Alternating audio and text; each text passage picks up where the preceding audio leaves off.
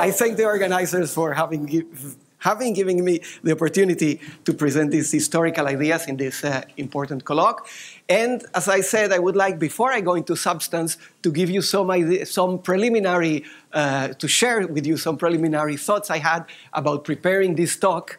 Uh, because as you will see uh, now, it will be quite different from the previous one, and not only because Professor Malgrange is a great mathematician and I am not, uh, but also because uh, the way in which uh, we prepare now talks nowadays with PowerPoint and so on. So the first thing is to find the pictures of the uh, dramatis persona that we are going to speak about. And here we have Dedekind and Frobenius. Uh, but uh, these are not the only pictures you find around. There are many others. And hence, uh, I have to think uh, before everything which one I want to pick, because perhaps if I, if I want to speak about the conflicting views more precisely, then I may take these pictures, uh, which are a little bit more conflicting, or these other. But if I want to uh, stress the cooperation, possibly I take the, these two to the extent that at some point it is hard to know who is Dedekind and who is Frobenius, as you see here. Uh, hopefully, we will not confuse them. Uh, yeah. So this is uh, uh, the first uh, doubt I had, and I thought about the word vertauschbar when thinking about these two pictures, and probably about the two persons. And this is a very appropriate word here because later on we will speak about Frobenius' article über vertauschbare Matrizen. So the idea of Vertauschbarung, it's uh, appropriate over here. Uh, secondly, you know, when you uh, nowadays are going to prepare a talk, sometimes you want to look a little bit in the web because perhaps there is some student who wrote a paper on this and you can plagiarize him or something like that, and things are easier. So I looked a little bit about Dedekind, first of all, and of course, if you do Google with Dedekind, you get the standard things, Dedekind cats, the ideal, domains, numbers, and so on. And I decided to take a look at what can I find about cats? It's not precisely uh, the topic of this talk, but nevertheless. So I find that the Dedekind cat may be something very different from what you have in mind here. It was not of great help for my talk, but uh, I had greater problems with Frobenius because Dedekind I, I have written about him. I know better his work. Frobenius is more difficult for me. So I really wanted to find a little bit. And you see here, you have the algebra, theorem in differential geometry, and so on. Some of the names I have heard. I had never heard about the Frobenius substitution. So I decided to click on it. And you know, you have the, the, the little summary of what you're going to get and say Frobenius substitution is the Frobenius most famous find. And moreover, there is, however, no evidence that Frobenius perpetrated the substitution. I said, this is important, perhaps. So let's take a look. What is this? Well, this is not about our Frobenius. This is about an ethnographer called Leo Frobenius, my namesake, which is nice. And what do we read here? Frobenius' most famous find was the brass head known as Olokun. He brought it for six pounds and a bottle of whiskey. Underwood in Fagg have demonstrated that the head purporting to be this one, and which is now in the IFE Museum, is not the original IFE head, but a copy made by sand casting. And then there is no evidence, however, that Frobenius perpetrated the substitution. so the only thing that is not clear here is if what a substitution or a permutation, depending his being here uh, consistent with his uh, words or not. Well, so I, I couldn't find a paper by a student, so I had to prepare it by myself.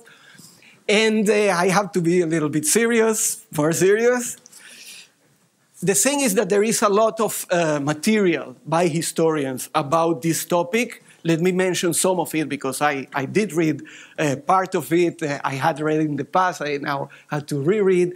Of course, we have this uh, famous and important book by Tom Hawkins on the emergence of the theory of Lie groups, which is a real masterpiece of the history of mathematics. Very demanding, very uh, hard to read, but very enlightening, very detailed as well.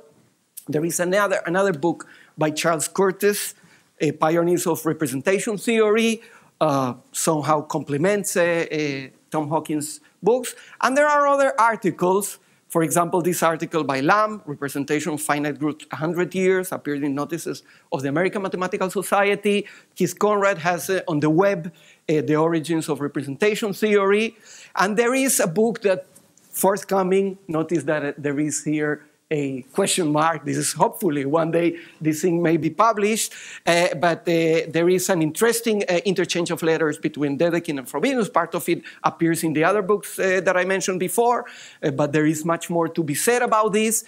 And uh, there are some other articles more recently by Frederic Brechenmacher about the controversy between Jordan and Kronecker and about the history of matrices.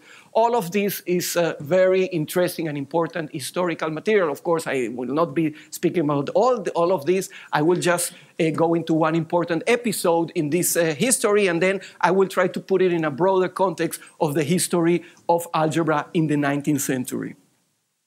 And everywhere where, where people speak about the beginning of representation theory, there is uh, this famous milestone, which is uh, on the uh, um, appears in a letter sent by Dedekind to Frobenius on March 25 of 1896, in which he writes the following. On the whole, he says, one may well suppose that the properties of a group G regarding its subgroups will be reflected in the decomposition of its determinant theta. However, except for a trace, which indicates a connection between the number of ordinary linear factors of theta and the normal subgroups A of G, I have found nothing at all. And actually, it is quite likely that for the present, little will come out of the whole thing. So what is this determinant of the group that uh, Dedekind is speaking about? Uh, given G, a group of order n, these are the elements, G1 to Gn, where G1 is the neutral element, we associate a variable xi to each of the elements gi, and we also call uh, i to the, the one associated with the inverse element. And we define uh, a determinant theta uh, as an homogeneous polynomial of degree n in n variables, and the variables are uh, determined here in this uh, determinant by uh, the corresponding uh, uh, variables to the elements uh, gi i tag, etc. So you perform this determinant, you obtain that, that polynomial, and Dedekind tells to Frobenius that he thinks that there is a connection between the number of ordinary linear, linear factors of, uh, of theta and the, and the normal subgroups A of G. And he says that if G is abelian, then uh, the, that polynomial can be factored exactly into, lin, into n linear uh, forms over the complex numbers. So uh, exactly in this way, here we have a product of these factors over here uh, and here we have um, a, an element not mentioned so far. The it's not you don't see it so clearly. Here should be. I uh, know it's okay. So uh, here you don't see the hat, but it should be uh, the, the the factoring over all the elements of the group of characters of G which uh, was a, concept that, as we will say a few words about it, was uh, uh well known to Dedekind by, by having studied in several contexts. Now, uh, Dedekind says in the letter that this result is a theorem, which in, in this generality, as I believe, has not been announced as yet. But he also adds that if G is not an abelian group, then the determinant possesses, as far as I have checked, beside linear factors, also factors of higher degree that are irreducible in the ordinary sense. But this will be further de decomposable into linear factor if one allows us coefficients beside the ordinary numbers, also hypercomplex numbers, and he was referring here to the possibility of having factors which are non-commutative for the multiplication. Uh, and he added a non-proven conjecture, conjecture if the non-abelian in the non-abelian case, the number of linear factors going this way equals the index of the commutator subgroup of G. As I said, behind these ideas of Dedekind, there are many uh, works, many contexts in uh, which uh, he was he, he, he was well acknowledged and uh, uh, had been working with similar ideas or studying them. For example, Gauss worked on characters of finite abelian groups, which he used for assigning numerical properties to classes of binary quadratic forms. Uh, it had appeared in studying higher reciprocity and the Legendre symbol, uh, also in Dirichlet application of analytical methods to number theory, and recent work on hypercomplex systems that developed following Hamilton works on uh, quaternions. And also, Dedekind's own work on uh, number theory, I would say in the theory of uh, algebraic number fields, which appeared, as you know, in the supplements to Dirichlet Vorlesungen.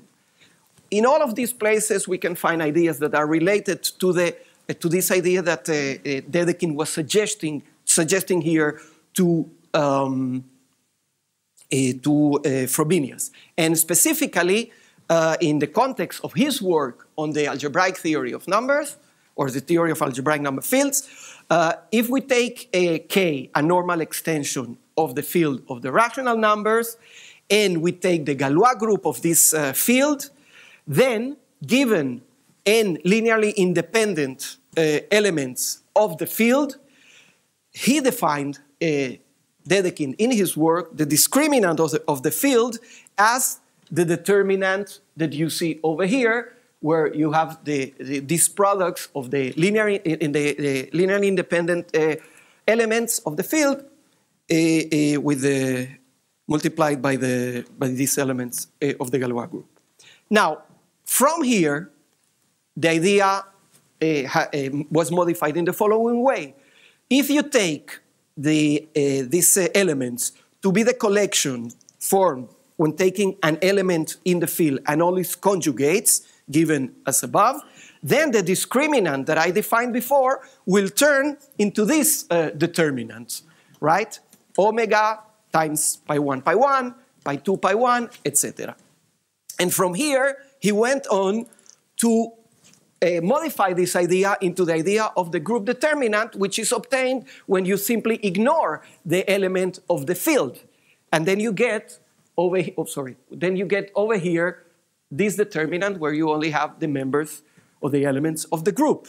And then with a little modification, you take only uh, variables uh, x, y, j instead of the uh, numbers of the field, and or, or of the elements. Sorry, there I don't know why I wrote numbers here of the elements of the uh, of the group, and therefore you get a polynomial instead of a value, and uh, with a, an additional little modification, instead of taking as the second coefficient, you take the inverse of the element uh, corresponding.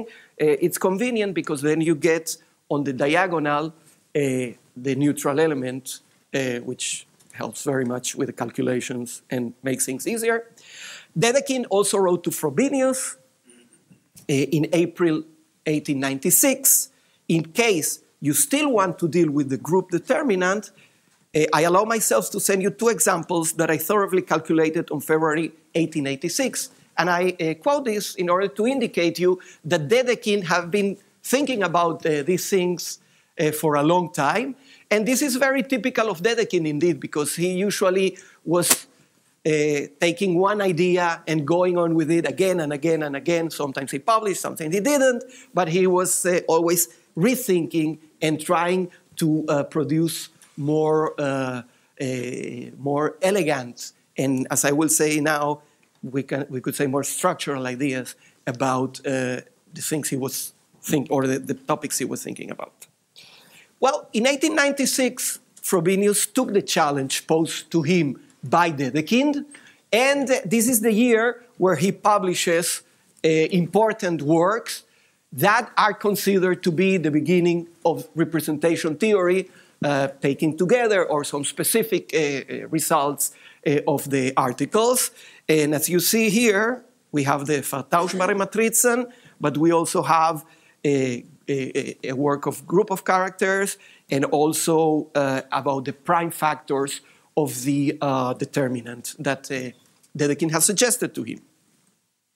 So in these works, the first thing uh, he did was to define the characters of the general finite groups, Specifically, he was defining the characters of the non-abelian groups. The characters, uh, I should say, these are functions from the group to uh, the field of complex numbers that uh, preserve the multiplication. And in the case of the abelian group, uh, they are uh, simpler because uh, you can write the abelian group as a product, as a direct product of cyclical groups, and then it's very easy to see that you have a finite number uh, of uh, characters uh, defined in this way. in the abelian case, it's more difficult. In the non-abelian case, it's more difficult. And part of what um, Frobenius wanted to do was to, to, to, to come forward with this um, definition in the more general case. He proved the main theorems about them, and he applied these new concepts to solve the problem of factoring the determinant of a general group into irreducible factors. And uh, before I go on, just a few words about the relationship between these ideas and the uh, idea of a representation. If we take H to be the group algebra of G, uh, uh, formed by this kind of elements over here, uh linear combinations of elements in the in the group with uh, coefficients in C, then we have a, a G-dimensional linear associative algebra over G, and there we can see we can consider the following linear transformation TG, which is uh, simply taking the combination and multiplying each of the elements by the given element G. Now, if we represent this transformation using a matrix sigma G by taking a basis, for example, G1 minus 1, G2 minus 1, etc., then we can uh, see, without going into many details, but the, the, even the general idea that we have that for every G, or the, the, um, the mapping from G to sigma G give us the right regular representation of G, and uh, theta is the determinant uh, written in this way, where each element or the, each uh, variable uh, is multiplied by the, uh, by the sigmas for G1, G2, up to Gn. Oop, what happened here? Uh, and moreover, sorry, something uh, uh, moved with the slide, but you can see here, moreover, that if M is a non-singular n times n matrix over C, such that it can be, that the product, this product over here, M sigma m minus 1 yields a, a, a, matrix of this form with two blocks, one R on R and the other S on S, then the, uh, the, um, the determinant here results as a product of two other determinants, each of which is of polynomial R and S. Uh, and hence, we can see also that the decomposition of regular representations into irreducible representations is equivalent to the decomposition of the group determinant into irreducible factors with corresponding degrees. So uh, the, the, the, relation is quite uh, straightforward. And Frobenius formulated the problem in the following way. If we have a factoring of theta into factors in which, in this case, we have here factors going from 1 to L. Each factor, uh, we call him phi lambda, appears with a multi, multi, multiplicity or, or, as many times as E lambda. If this is the factorization of the determinant into the uh, different irreducible factors, uh, of the, each of which is of degree f lambda, uh, then ask uh, Frobenius, how does this factorization represent the property of the group? And remember, this was uh, the question uh, posed by, by Dedekind. Uh, and as I said, with the kind of uh, new tools and new ideas that Frobenius introduced in 1896, he formulated the problem in this way, and he also came up with the solutions and, and new problems, new ideas. But basically, he was also able to, uh, to, to address two specific questions he had in mind. First of all, whether the number of linear factors here is the one that Dedekind had conjectured. And uh, secondly, whether the, uh, the various parameters that I obtain here, L, E lambda, F lambda, whether there is a clear relationship between them and G. So, as I said, he investigated in that uh, uh in, the, in those three articles the various new ideas he had, symmetric matrices, and applied them to the properties of sigma g, uh, which, as I said, is the uh, matrix representation of, the, of that uh, uh linear transformation. And, and among other things, he came up with the, the following answers. First of all, the Dedekind conjecture was correct. Secondly, L equals the number of conjugate classes of G. Third, E lambda equals F lambda, and that means that each factor in that factorization occurs as many times as its degree. And as I said, he also generalized the concept of characters and the, some of the basic uh, results about representation of groups. Okay, now, the background of Frobenius to this kind of work was quite different to that of Dedekind, or had different elements from that of Dedekind, because Frobenius in the previous year had been working on topics like the theory of linear differential operators, linear forms with integer coefficient. He had provided an improved proof of Sylow's theorems, uh, and he worked, especially important for this topic over here, on linear and bilinear forms and on the theory of biquadratic forms. And this is certainly one of the reasons or one of the circumstances against which we have to see why he, uh, why or in which way he uh, took the challenge and developed it. But, but there is more, I think, to the difference between these, uh, uh between the, the backgrounds of these two mathematicians, which tells us a lot about the way or the main uh, threads in the development of algebra in the 19th century. Uh, I just put again the topics that I mentioned in relation with Dedekind so that to remind you uh, the different backgrounds.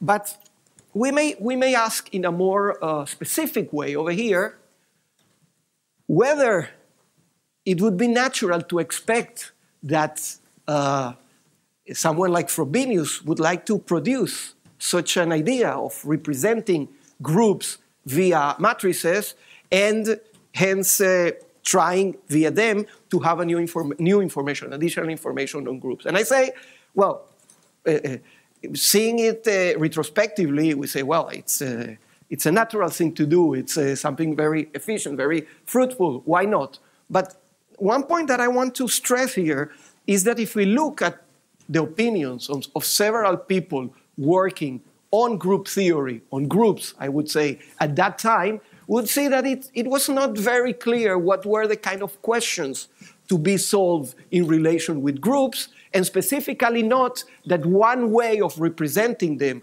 or, or, or, of trying to find out the properties would be the convenient one to do it. Let me uh, uh give you some examples, but I, I, to put it in a, in a more specific way, I, actually what I am asking is what was group theory in 1896 what was algebra in, in general in 1896, uh, and, and, even we kind of what was group theory for Frobenius or for Dedekind, and what was algebra for Dedekind or for Frobenius, and even something to be related with the topic of this colloquium, how is all of this related with the work of Galois? Uh, and the point is that uh, at, this, at this time, it is far from obvious and it is far from uniform the way in which these answers or these questions were answered. For example, if we consider Cayley speaking about groups as group of permutations, he says in 1878, the general problem of finding all the groups of an order n is really identical with the apparently less general problem of finding all the groups of the same order n that can be formed with the substitution upon an n letters. Uh, permutation groups. This, however, in any wise shows that the best or the easiest way of treating the general problem is thus to regard it as a problem of, of, substitutions. I mean, this is not the way. And it seems clear that the better course is to consider the general problem in itself and to deduce from it the theory of group of substitutions. That is to say, we are able to represent the group in a certain way, but it doesn't mean that if we want to find out the properties of groups, we should look at it in that particular way. No, I know to do that, but I will go the other way around. Weber, in his famous book on uh, algebra, 1896, speaks about groups as groups of linear substitutions. The importance in algebra of linear substitutions, and in particular of the finite group that they define, concerns the fact that groups of permutations of n elements can be represented as groups of linear representations. And then in another book, Burnside, in 1897, in the theory of group of finite order, Cayley's dictum that a group is defined by means of the laws of combination of its symbols, so, that is the fact that Cayley is saying that a group is, uh, we, we must uh, not consider the, na the nature of the element, just look at the laws, uh, would imply that in dealing purely with the theory of group, no more concrete mode of representation should be used than is absolutely necessary. It may then be asked why, in a book which professes to leave all applications aside, a considerable space is devoted to substitution groups, while other particular modes of representation, such as groups of linear transformations, are not even re referred to.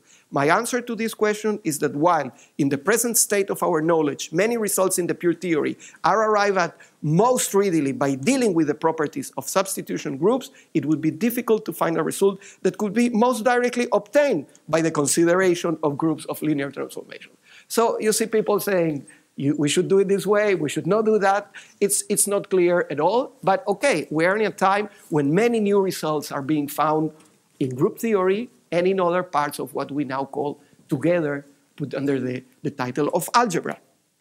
So going back to, to these questions, we see that, that the answer, historically speaking, is not straightforward. But van der Waerden, in his famous book on history of algebra, from a history of algebra from Al-Khwarizmi to Emmy Noether, he puts things more straightforward than this, and he says, modern algebra begins with Évariste Galois. With Galois, the character of algebra changed radically. Before Galois, the efforts of algebraists were mainly directed towards the solution of algebraic equations. After Galois, the effect of leading algebraists were mainly directed toward the structure of ring, fields, algebra, and the like. And I think that uh, if we look at the, the developments, including those that I have just mentioned on Dedekind and Frobenius, one has to take this formulation uh, in a very different way. It's not, such, it's not as straightforward as it appears here.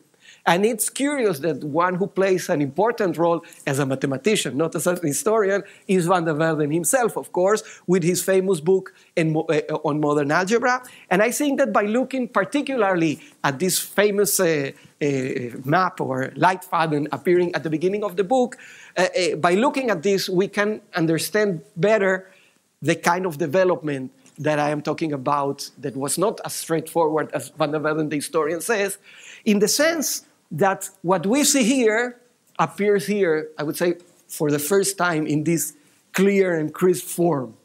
Uh, in, the, in the sense that here we have all the basic structures of algebra groups, po uh, polynomials, fields, uh, rings, etc.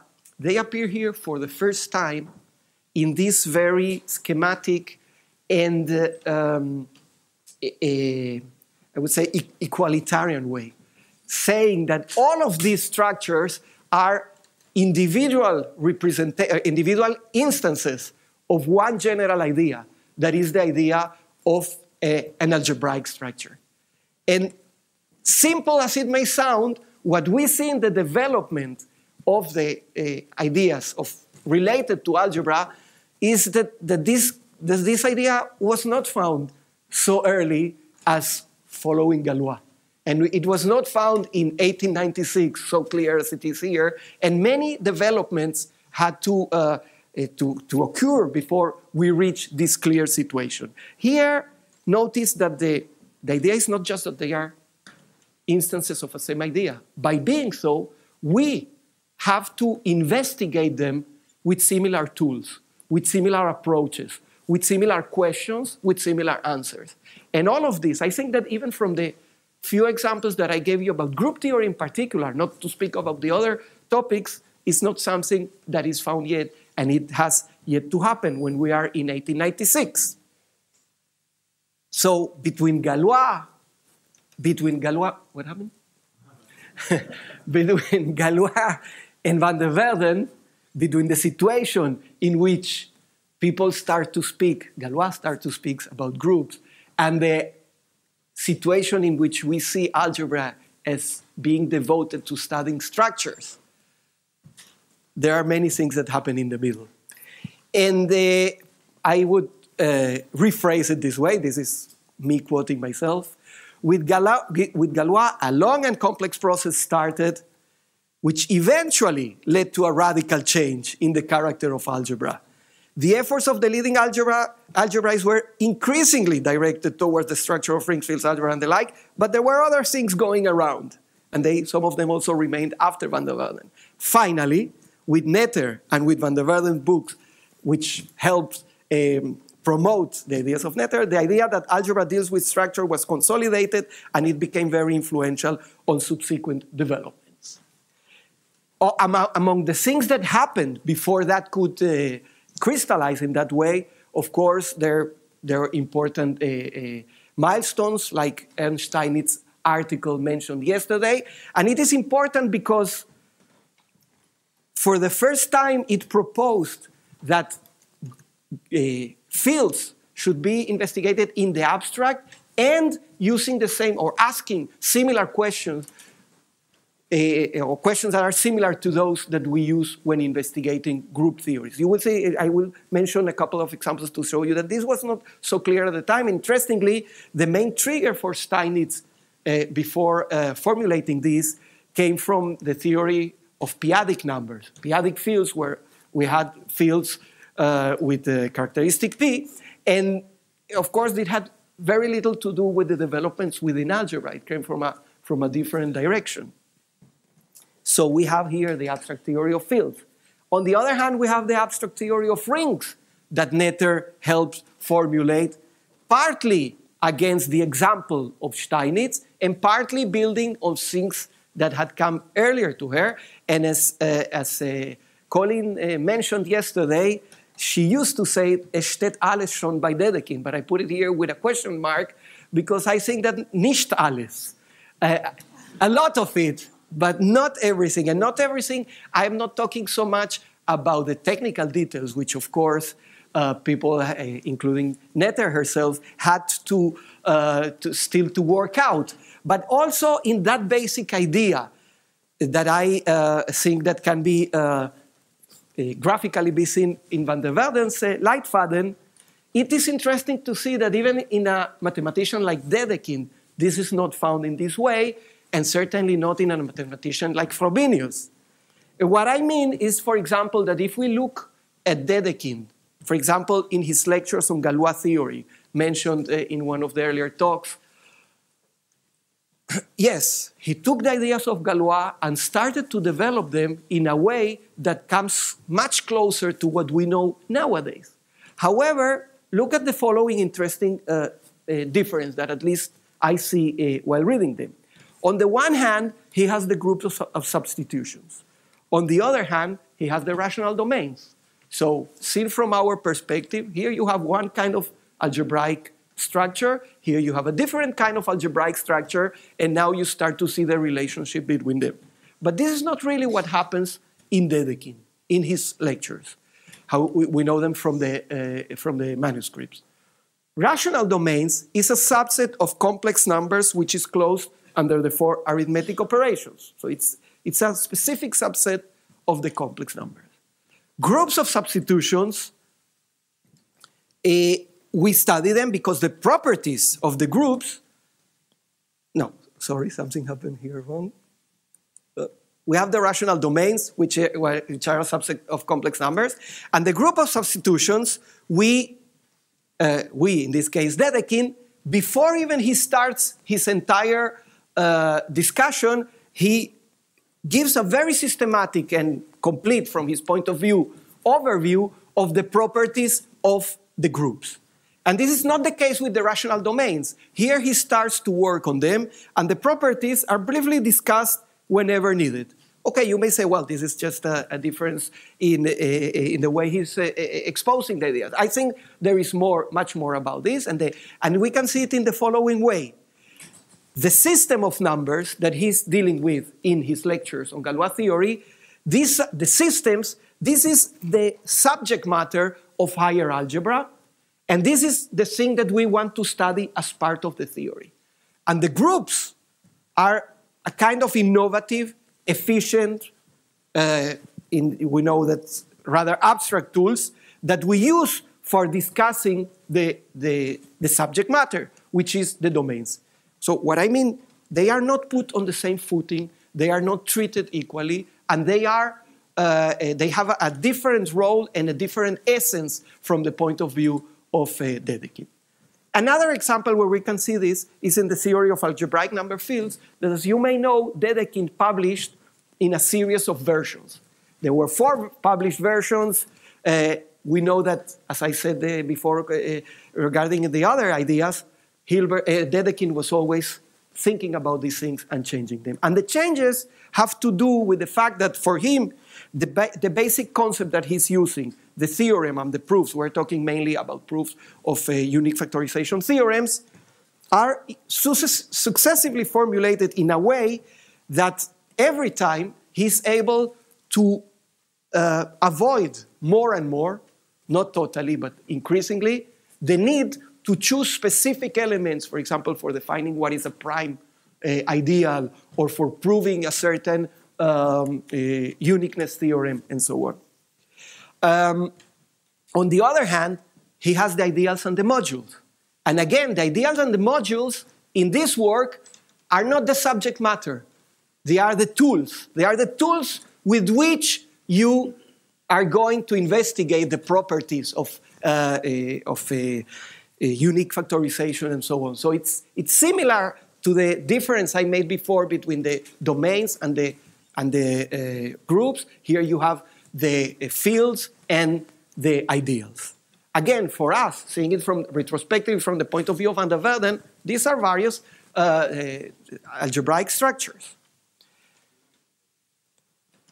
So again, here we have the fields and the algebraic interest. These are the system and their interrelation constitute the subject matter of higher arithmetics, and the ideals and modules are the tools. And it is interesting to see how Frobenius considered, uh, the, how he evaluated the work of Dedekind. In a letter to Weber in 1983, when Weber, Weber was about to write his book, he, he, he tells him, your announcement of a work on algebra makes me very happy. Hopefully, you will follow Dedekind's way, yet avoid the highly abstract approach that, that he so eagerly pursues now. His newest edition of the Vorlesungen contains so many beautiful ideas, but his permutations are too flimsy, and it is indeed unnecessary to, put, to push the abstraction so far. I am therefore satisfied that you write the algebra and not our venerable friend and master who had also once considered the plan. I think that this is very uh, uh, indicative of the kind of different views that are going on around here. Of course, we are speaking here of a Frobenius, a, a representative of the Berlin school with Kronecker and Weierstrass, but mostly under the influence of Kronecker, who are their approaches Uh, more, uh, as uh, Harold Edwards explained uh, about Galois, but he has uh, written a lot about this on Kronecker, more of calculation, of choosing specific, eh, of basing the concept of a specific choice of an element, and there is a dialogue between these two kind of ideas, and it comes very nicely also in this encounter between Dedekind and Frobenius on the creation of uh, of a, a, a, representation theory because Dedekind has this idea, but it doesn't go so much in the, di the direction of the kind of things that he's doing, and he suggests it to Frobenius, and there it catches very nicely and very naturally with a point of view that he had been developing for what we call today algebra in general. Notice, however, that in the background that I uh, mentioned about uh, Frobenius, there is no specific, before there is no specific article about matrices. And, and this is a, a, a, an interesting topic in itself because all, all the idea of matrices, again, if we look at it from the point of view of, uh, of, uh, of the scheme presented in Van der Waerden's book, well, it's easy. But we have matrices. It can be in linear algebra. It can be an example of a ring, etc. But at this time, matrices are in a, in a phase of transition. Well, usually ideas are always in transition, but uh, here we have a very clear uh, moment of transition because, on the one hand, you have uh, the roots of the idea, uh, for example, in Cayley and some other British authors, where it appears more as an extension of the idea of an hyper, hypercomplex number. Uh, uh, you saw that Dedekind, at least in the text that I cited, he doesn't speak of a matrix, he speaks of a determinant. Uh, and uh, you have Frobenius himself, having worked with the bilinear forms, etc., uh, having developed the idea from there. So the idea of matrices, it's, it's not it's, it doesn't have a clear place in all the map of the algebraic or what we see as the algebraic ideas in retrospect, and is in a, in a, really in a constant movement over there. And in this movement, well, uh, we, we can see, for example, that Emmy Noether didn't like it very much because she's developing the way of uh, Dedekind, let's say, as, uh, expressed. And here we have a very interesting uh, um, testimony by Dubreuil, who, uh, here I will read in French, I hope not to be embarrassing. Le cours de Noether n'est pas facile à suivre. J'ai un jour une difficulté à propos d'une affirmation qui ne me paraissait pas justifiée ni dans son cours ni dans son mémoire. Une démonstration s'obtenait sans peine pour un calcul de matrice, mais j'ai été devenu assez netérien pour ne pas m'en satisfaire. À la fin de la leçon suivante, je suis allé poser la question à Minetter, qui repoussa énergiquement les matrices et après, et la, euh, les matrices et après trois secondes de réflexion me montra combien la chose était claire si l'on jonglait adroitement avec les modules. I think this is very typical and it's very uh, it, it summarizes in a nice way uh, the developments I have trying to indicate precisely because Noether uh, uh, certainly was developing so many ideas of Dedekind, but, but was bringing them to this new position in which they will, be, they will appear uh, uh, in a way that all these ideas, groups, modules, ideas, fields, rings, they are all citizens with equal rights in, the, in this republic uh, of uh, algebraic structures. And within this, she would rather not consider arguments coming from matrices where you multiply with specific elements. She, of course, she would prefer the chain arguments, etc., that had appeared already in the work of Dedekind, but here they, they came to, a, to, um, to fruition in the way that she uh, defined them. So that in the end, I think that uh, uh, the, the, um, the conversation or the interchange between Dedekind and Frobenius, it's important not just because the specific contribution it made, that it triggered, that it prompted Frobenius to develop the ideas. Maybe he had reached them otherwise, but it, the fact is that this is the way it happens. So it's not important only because of that, but it's important as a way to look back at the history of algebra in the 19th century and to realize that there were many complex, sometimes conflicting, and sometimes cooperating views. And in a way, here you have it in a nutshell that helps us understanding it very clearly. Thank you very much. Um,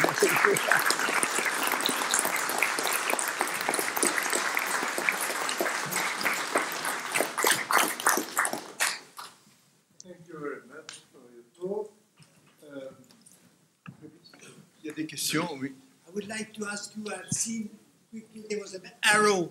There was an arrow going from Galois to modern structures yes. at some point. Yes? yes. Do you consider this arrow, if you may allow me to use the expression, as a walk to the Holy Land? or would you rather say that now, for example, if you look at the following period, then we are more in a backwards arrow or yeah dif different direction. Yeah, well, you know, this is history, not mathematics. So things are not necessary. Things may happen one way, may happen the other. And uh, there are certain uh, circumstances that help us understand why this uh, idea caught so strongly. well, the first reason is that mathematically speaking, it was a very good idea. I mean, mathematics and algebra specifically became very fruitful. People started to work and to produce many ideas and so on by looking at algebra in this way. So, because, you know, if you take after Van der Waerden, then you have other books like uh, Birkhoff Mac Lane in the United States, and uh, there are several other less influential books, but again, they, they, they brought this idea that this is what we have to do in algebra. And of course, Bourbaki later on taking this image and extending it to the whole of mathematics. Uh, and, and many people entered this and worked and produced important mathematics. At the same time, however, there were people, I mean, not everybody was working algebra in the way uh, Van der Waerden did, even though well, it cut very strongly, and most people were doing it. And I think that, uh, like in many other episodes in the history of mathematics, ideas at some point uh, became less interesting to new generations, and they start to try to look at different uh, ways. For example, okay, nowadays we have uh, very different trends in algebra. I'm not the person to speak about them, but it's obvious, even if we speak about comp computational uh, trends and so on, so that I think one of the interesting things, historically looking at this, that it's clear for many people working in algebra at the time and then with Bourbaki, is that there came an idea that was perhaps new in mathematics, that here we reach the end of the story. So this is how things will remain forever. You will have more results, you will have more of the same, you go on. But this basic idea, what is algebra and what you have to do in order to pursue algebraic research, this is here to stay.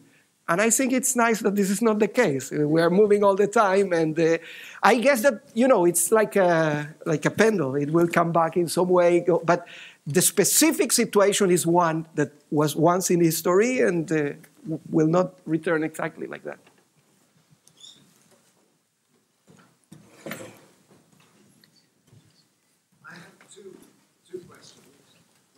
Uh, okay. The general one is the quotation from Emmy Noether. Yes. Which I met when I was a little younger than I now am, from the circle in which uh, I was ah. Yeah, okay. And you're quoting people taking it seriously. Yes. In the circle that I was brought up in, it was clear that this was a catchphrase. One of her favourite catchphrases came out often. It was a coffee table phrase. It was a what's nowadays called a soundbite in politics. and it had just as much and just as little meaning as any political soundbite. Would you like to comment yeah, sure. that? No, I think it has more meaning than that. Uh,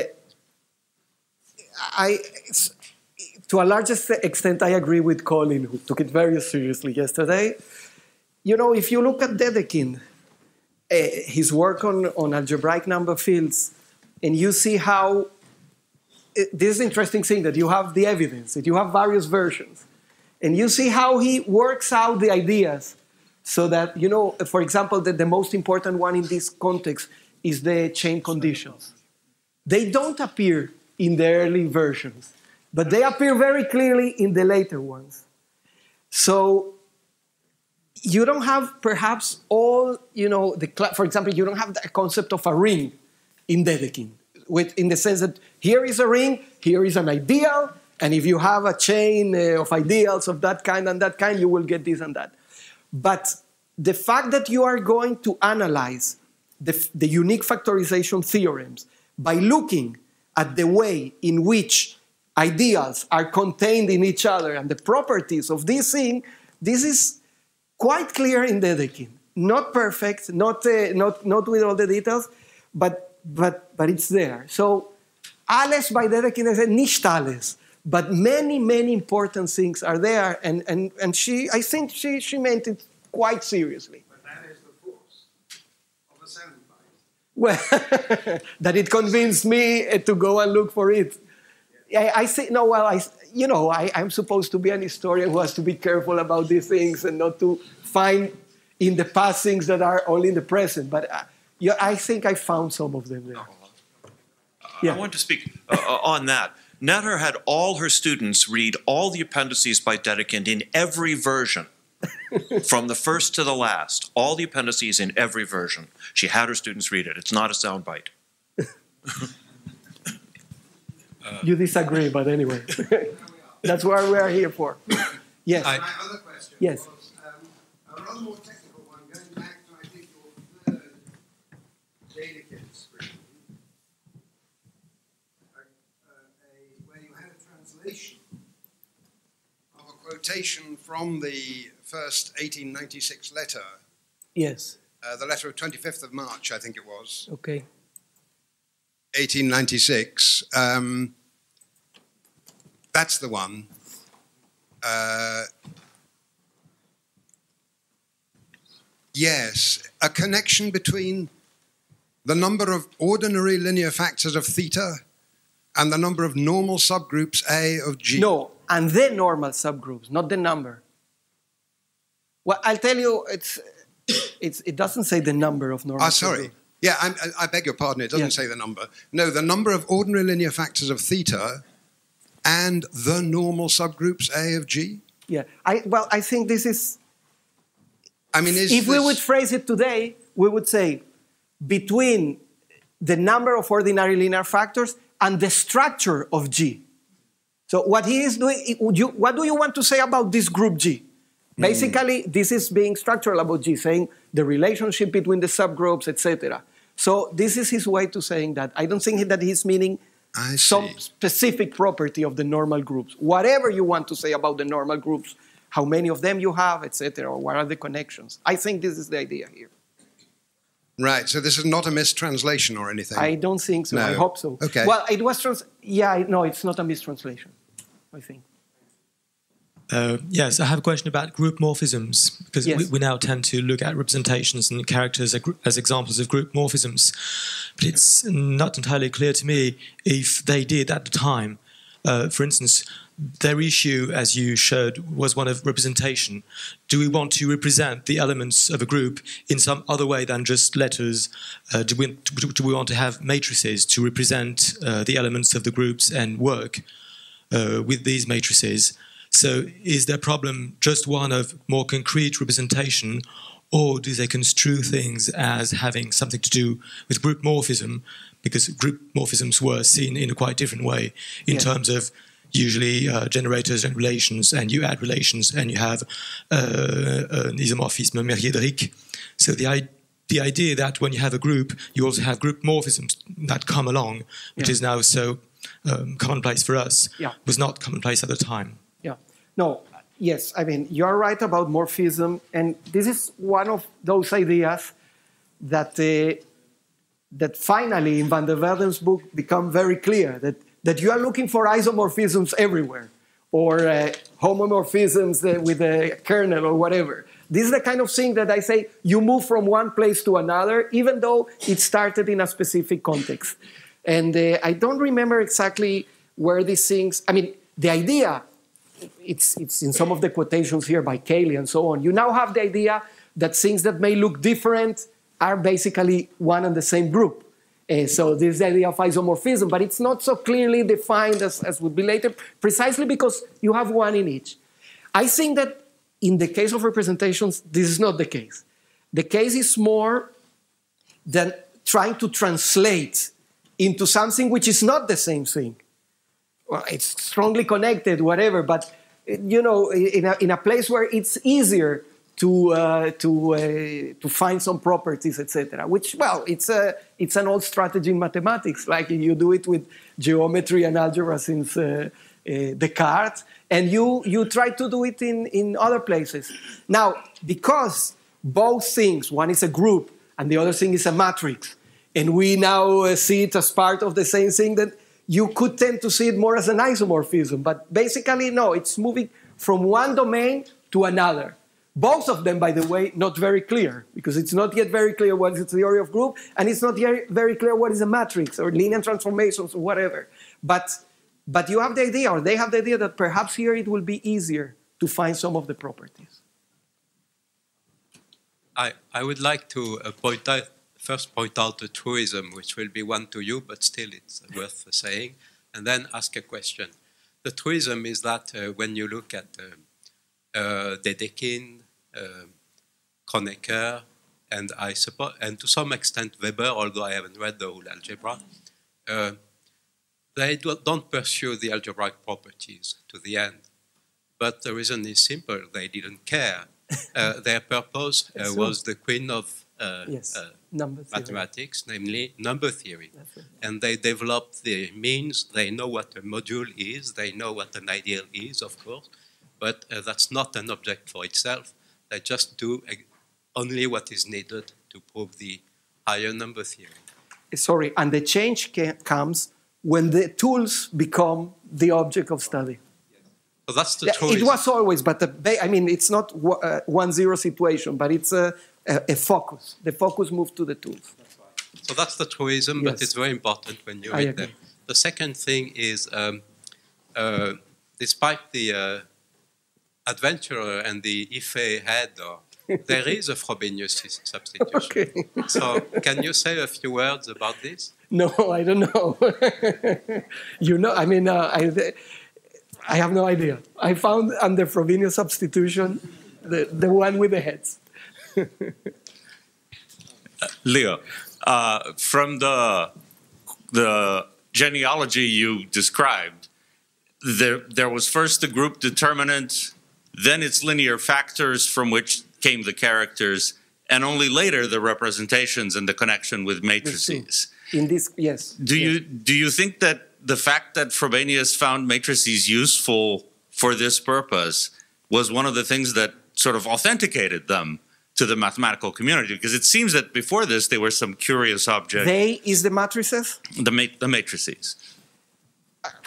It's I, I guess that it certainly helped, but. Uh, but the history of matrices, I mean, I was not very aware of this, I must say. I, I read it, I read more and more in the articles by Frederick Brechenmacher. And, and also it appears in a way also in Tom Hawkins, but in Tom Hawkins is so densely packed with the groups, etc., that it's, it's hard to see. And, the, and what I want to say is that this is, if you compare the history of matrices with the history of groups or, or ideals or whatever, you have something much more confusing and more, because the roots come from all around the place, from analysis, differential equations, bilinear forms, hypercomplex numbers, and so on. So that uh, it may, even though I, I would think again, because one should see how long did it take for representations to become a more canonical object, a, a more canonical uh, discipline, let's say, right? Because it's not so easy. I mean, Frobenius comes up with the articles I mentioned here, you have to wait a little bit. Then come the other people like Burnside and Brauer and so on. And there are some gaps in between. So it helps, but uh, I don't know how quickly and, and how strongly. I, I'm, I do not know the story so closely that I, I cannot tell you. So my question, well, one question is, is there any qualitative difference between Frobenius's kind of complaint to Weber and any of the other complaints that we, I mean, always exist about some mathematics being too abstract. Yeah. I mean, now it's easy to find complaints about higher category theory, yeah. complaints about Grothendieck, there were complaints about Harish-Chandra, yeah. about Bourbaki. So there always seems to be complaints about algebra. About uh, the, the abstract, the people going too abstract. Yeah. Yeah, I think it's, uh, I think you can find it even earlier than that. I mean, two things. One is that the, the abstract of today is the concrete of tomorrow. And here we have an, an excellent example of that because uh, groups becomes the concrete in category theory or any of the, of the and, uh, and, and it simply, I think it, it, uh, it shows that uh, at any given point in time, people are thinking differently. Uh, and we sometimes, when we specifically when we see something that cut so strongly as Van der Waerden, we may tend to dismiss all of that as people who uh, they, they, they were wrong simply. Well, they not they were not simply wrong. They had a different idea, a different take on that, and for certain reasons, it uh, that in in some cases we can explain historically, one of the views became stronger than the other. But I think you have You, you yourself mentioned it. You have these kind of tensions all around. There, in that sense, this is not specific uh, to to uh, Frobenius and and, uh, and Dedekind. What I think it's interesting that Dedekind at the time, he was quite isolated in his views. I mean, people didn't like very much to read Dedekind. Even his friends, even people who thought, even Frobenius, who thought our venerated I think he means it. But will he start to read all these, uh, you know, uh, nuanced things about the ideas? Probably not always. So the interesting thing is how this thing that was a tiny minority became the majority view. It has to do a lot with Hilbert, with Noether, and things like that, the, the Göttingen trend and so on. I would, um, I would like to ask you about a different direction that abstract algebra developed because you've been talking about the growth of abstract notions in algebra based on very concrete issues of solving equations and yeah. doing permutations and so forth. But there is also in the 19th century a direct, um, a, a, direct uh, connection between abstract ideas and modern algebra, which is, of course, uh, George Boole's laws of thought and modern logic. The, um, the structures of modern logic, as developed by Boole and other people after that, is not based on anything sort of concrete in terms of solving equations, but based on, as he himself said, the laws of thought. Could you comment on the way that this direction yeah uh, fed into the development of modern algebra? Yeah, well, this is, we can perhaps subsum it under the title of Algebra of Logic, which starts with Boole, and you have Grassmann and many other people, Schroeder. It influenced it, but I think that it influenced less than one might think, in the following sense. If we uh, try to understand modern algebra only by looking at the fact that some of the, uh, of the concepts were defined abstractly, like Cayley with groups and so on, then if that was all what was the development of uh, modern algebra, then all what happened in that direction would be highly important because then you say, well, basically mathematics is just about abstractly defined things. But what I am trying to show, among other things here, is that this is not enough. You need something else. And the something else is the identification of several ideas that were formerly seen as separate to see them as being actually one thing. One thing that is not defined, it's not the case like in mathematics, you define group formally and then you see it's the same, this and this and this is the same. This is not what I'm talking about. I'm not talking about a formal concept which like in Bourbaki appeared structures. This is not the case. I'm talking about the, a general idea that says all of this is the same.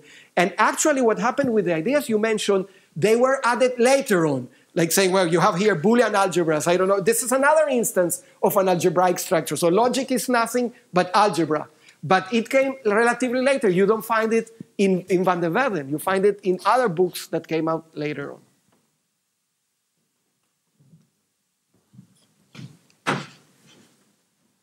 I have a few remarks which uh, sort of support your thesis. Yes. Um, the first is you mentioned Lam and his uh, history, yeah. but he also has a nice little note on Frobenius, uh -huh. and uh, he characterizes him as a very forceful character. Yes. And I'm sure he was. Yes.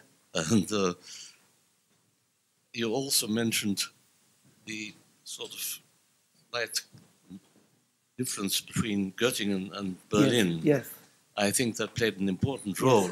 Yes. It only, does not only go back to Kronecker, but who was the successor to Frobenius? Yes. He was Schur. Yes. And I don't sure. think Schur built great theories, but he did prove theorems. Yes. And um, somehow this was a serious controversy between these two universities. Also, financial support from yes, the government absolutely. was entailed, right? But it was also a game. It's a bit like the boat race between Oxford and uh, you know Cambridge. I mean, they, they are real fierce competitors, but it's also fun. That I completely agree. Although one must say that there were periods. And and in this sense, if, uh, Frobenius is taken not to represent the golden age of uh, Berlin in the sense that there were few students, etc. And he seems to have been a difficult person. Actually, when reading his biography, I learned a new word in English that I, in English that I didn't know, krantakaros, because he's described as krantakaros in more than one place. so now, now that I read that biography, I know what the word is, and probably he was not a nice person. But the others were not so nice either, the one must say, except Noether. I would like to I would like to ask a question. Where is it? ah, um, sorry. Whose answer is um, certainly well known to the experts, but I'm just a humble working mathematician. So, on your um, in your lecture, you uh, mainly concentrated on the German school of algebra, but weren't these results in representation theory uh, also many of these uh, independently discovered by Burnside? Yeah, I thought I thought you were going to ask about France. no, I'm not French. uh,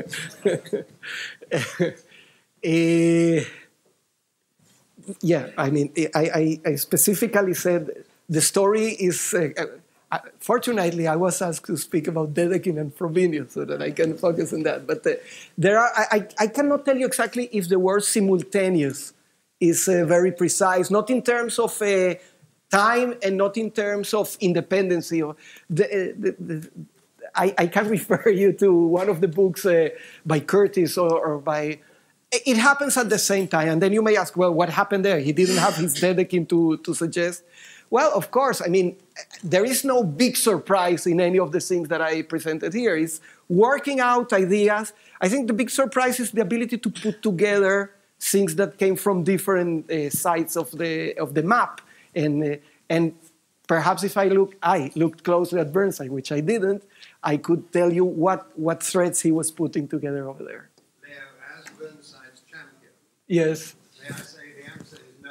Ah, okay. No, Burnside got his uh, representation, his character theory from Frobenius. Ah, okay. But they didn't really accept that this was going to do a lot in group theory until Burnside first proved yeah.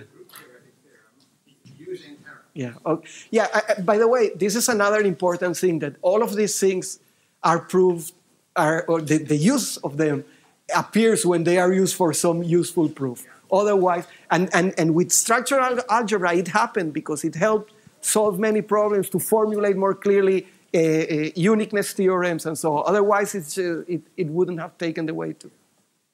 Bien, maintenant, je pense qu'il faut arrêter les questions et remercier encore. Merci.